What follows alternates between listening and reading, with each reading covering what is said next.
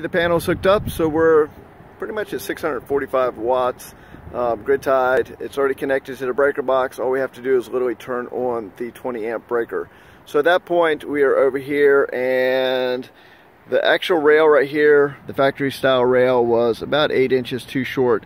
So we're gonna do the transition to the Unistrut, which is more the DIY style, which we'll finish out the entire project on. So we got a little bit left to do to get the other two panels on.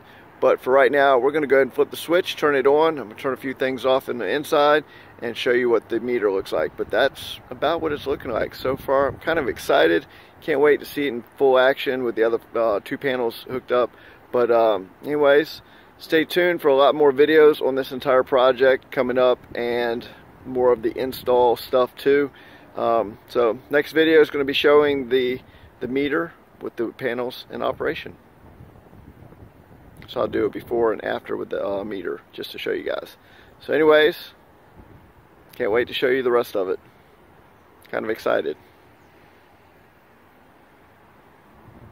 Looking pretty good right there. Eventually we'll have about 40 panels up on this uh, roof and uh, should take care of everything the shop's using.